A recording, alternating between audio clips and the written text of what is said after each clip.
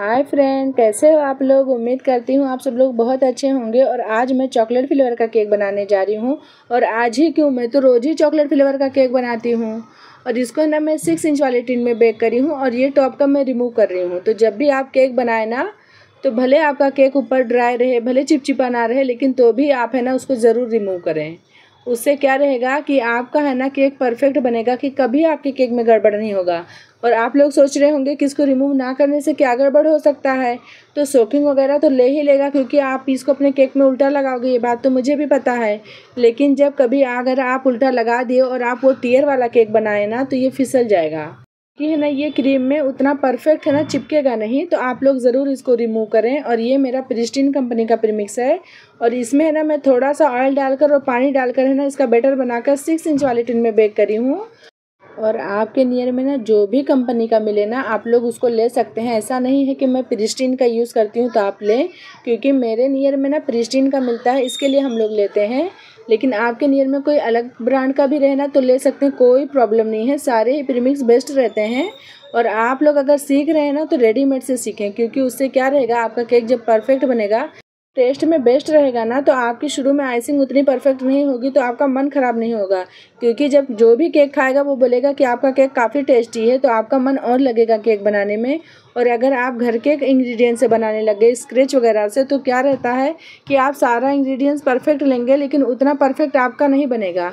जब स्टार्टिंग में हम सीखते हैं ना तो हमको उतना आइडिया नहीं रहता है कि कितना मतलब परफेक्ट इसका बैटर बनाएँ, कितने टाइम तक बेक करें, कितना प्री हीट होना चाहिए तो उससे क्या रहता है दो चार बार जब हम बनाते हैं ना तो परफेक्ट होता है। तो आप लोग शुरू में बनाएँगे एक बार, दो बार, जब आपका अच्छा नहीं बनेगा तो आप लोग है ना बोर होने लगेंगे तो आप लोग है ना रेडीमेड यूज़ करें। जब आपका केक परफेक्ट आइसिंग के साथ बनने लगे, फिर आप घर की इंग्रीडियंट से बनाएँ, आपका अच्छा रहेगा। और आप लोग देखे होंगे कि बेस के नीचे मैं कपड़ा रखी हूँ, इसलिए क्योंकि है ना, जब हम केक की आइसिंग करते हैं ना तो ये है ना, अपना बोर्ड भी फिसलता है। और बोर्ड के ऊपर भी आप देखे होंगे कि मैं विप क्रीम लगाई हूँ। वो इसलिए क्योंकि है ना, ये बेस जो हमें रखी हूँ, अभी आप केक का स्पॉन्च देखे हैं, वो भी फिसलता है। और मैं थोड़ा सा पानी ली हूँ और उसके अंदर थोड़ा सा शुगर डाली थी और उसके अंदर है ना मैं गनास ऐड करी हूँ। और गनास की भी क्वांटिटी आपको बता दूँ कि अगर आप हाफ़ के जी का बना रहे हैं तो उसमें सौ ग्राम गनास डालेंगे ना तो केक का टेस्ट काफ़ी ज़्यादा अच्छा रहेगा। लेकिन आप है ना उससे थोड़ा कम भी कर सकते हैं। ऐसा नहीं है कि आपको सौ ग्राम ही डालना है, या आपको और ज़्यादा टेस्टी चाहिए तो आप उससे ज़्यादा भी कर सकते हैं। और इसको है ना शुगर सिरप से मैं सोख कर रही हूँ, लेकिन आपको है ना शुगर सिरप से जब ज़्यादा सोख करना है कि आपको है ना टाइम तक इसको रखना है सेट होने के लिए। अगर आप है ना इमरजेंसी में बनाकर तुरंत देने वाले हैं ना तो सोकिंग थोड़ा सा कम करें। नहीं तो क्या रहेगा कि सामने अगर तुरंत कटिंग हो जाएगा केक तो ये केक है ना आपका ना थोड़ा पानी पानी सा लगेगा। तो आप इन बातों का ध्यान रख कर केक बनाएँगे कि आप अपने कस्टमर को किस टाइम देना है, कितने टाइम के बाद वो कटिंग करेगा तो ही आपका केक अच्छे से सेल होगा। और विप क्रीम में ना मैं बहुत सारा गनाश डाली हूँ और यहाँ पे क्या पता क्यों मेरा मोबाइल हैंग हो रहा है। मोबाइल नहीं हैंग हो रहा है वीडियो हैंग हो रही है। मुझे आइडिया ही नहीं मिल रहा कि कहाँ मिस्टेक है। और मैं विप क्रीम लगा दी हूँ और उसके ऊपर गनाश डाली हूँ और आप देखे होंगे ना कि मैं स्पॉन्ज के ऊपर भी गनाश डाली हूँ। लेकिन अगर आपको स्पॉन्ज के ऊपर गनाश नहीं डालना है तो भी आपका केक टेस्टी लगेगा। ऐसा नहीं है कि मैं डाली हूँ तो ज़्यादा टेस्टी लगेगा। अगर आप नहीं डालेंगे तो आपके केक का टेस्ट ख़राब होगा। ऐसा नहीं है। पर क्या है कि आप जितना ज़्यादा चॉकलेट या गनाश वगैरह अपने केक में ऐड करेंगे तो आप खुद समझ सकते हैं कि वो उतना ही ज़्यादा टेस्टी लगेगा। ये मेरा जो दूसरा लेयर है, आप लोग देखे होंगे कि ये टॉप वाला लेयर है।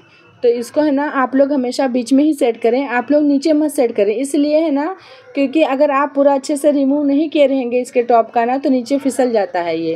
तो आप लोग है ना, बीच में इसको उल्टा करके रखें और नीचे जो रहता है, वो आप ऊपर रख दें। लेकिन अगर आपको नहीं रखना है तो नीचे भी रखेंगे तो कोई दिक्कत नहीं। और यहाँ पर आप देख रहे होंगे कि मैं वो थोड़ा सा क्रीम निकाल ली हूँ, क्योंकि बहुत ज़्यादा क्रीम गिर गया था। और बहुत ज़्यादा क्रीम भी हो जाता है केक में तो उतना ज़्यादा अच्छा नहीं लगता है। बहुत सारे लोगों को नहीं पसंद आता है। तो आप है ना, जितना स्पॉन्ज रहे ना, उतना ही क्रीम लगाएँ। जब लेयर बराबर रहती है ना तो क्या रहता है? बेकरी स्टाइल दिखता है। तो मैं उम्मीद करती हूँ कि आप है ना, ऐसे छोटे छोटे टिप्स अपने केक पे फॉलो करेंगे तो आपका केक है ना परफेक्ट ही बनेगा। और इसमें है ना, वापस से गनाश जाएगा। आपको है ना, तीनों लेयर है ना, ऐसे ही कंप्लीट करना है। स्पॉन्ज जाएगा तो अगर आपको एक्स्ट्रा चॉकलेटी चाहिए तो उसके बाद आप है ना गनाश डालें, फिर क्रीम डालें, फिर गनाश डालें। और उसके बाद चोको चिप्स ऑप्शनल है, ये भी टेस्ट को बढ़ाने के लिए ही है, लेकिन अगर आपको डालना है तो अच्छी बात है, अगर नहीं डालना है तो आप इसको स्किप कर सकते हैं। क्योंकि क्या रहता है, अगर आप घर के लिए बना रहे हैं तो कोई बात नहीं, लेकिन अगर आप कस्टमर को दे रहे हैं तो भाई जैसा कस्टमर पैसा पे करेगा, हमको केक वैसा ही बना कर देना रहता है।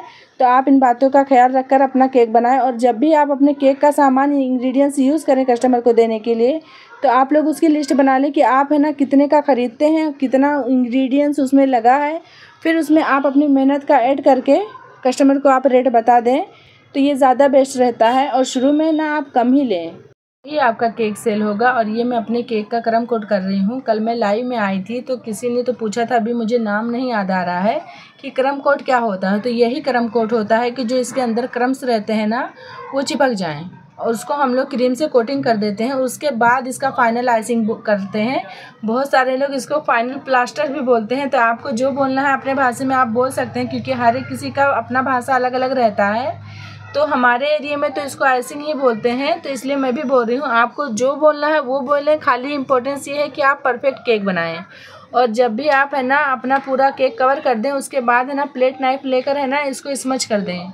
उसके बाद अपने केक की फ़ाइनल फिनिशिंग करें और जब भी आप, है ना, इसका फाइनल आइसिंग करें तो पाइपिंग बेग से करेंगे ना तो ज़्यादा बेस्ट रहेगा। क्रीम क्या रहता है? ज़्यादा भी नहीं लगता है और परफेक्ट भी रहता है।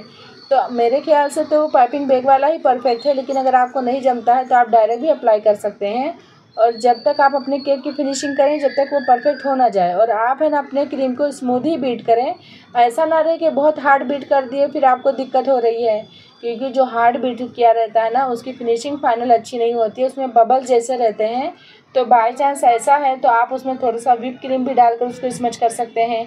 या थोड़ा वैसे ही चम्मच से करेंगे तो भी हो जाएगा, या अगर आप है ना थोड़ा सा पानी का छीटा मार के भी करेंगे तो भी हो जाएगा। लेकिन फाइनल फिनिशिंग के टाइम पे आप लोग क्रीम थोड़ा स्मूथ यूज़ करें, उससे क्या रहेगा कि आपकी फाइनल फिनिशिंग बहुत अच्छी होगी। और ये गनाश है ना, मैं छान कर ऊपर डाली हूँ क्योंकि है ना, मैं बोली छान कर डालूँगी ना तो शाइनिंग वगैरह परफेक्ट रहता है। और आप लोग देख रहे होंगे कि शाइनिंग परफेक्ट है। अगर आपको इससे एक्स्ट्रा चाहिए तो आप इसके अंदर थोड़ा सा बटर भी डाल सकते हैं। वैसे मैं कुछ भी नहीं डाली हूँ। आज का रेशो है ना, आप लोग टू वन का रखें और यहाँ पे मैं आप लोगों को पूरा डेकोरेशन इसलिए नहीं दिखा सकती कि ये केक मैं कल लाइव में बना दी थी। तो आप लोगों के साथ मैं ये शेयर कर देती हूँ। अगर आप लोगों को इसका डिटेल से देखना है तो मेरे लाइव में लास्ट में मैं इसका डेकोरेशन करी हूँ। जाकर चेकआउट कर सकते हैं। मेरे चैनल पर वीडियो अपलोड है। मिलते हैं नेक्स्ट वीडियो में। Bye bye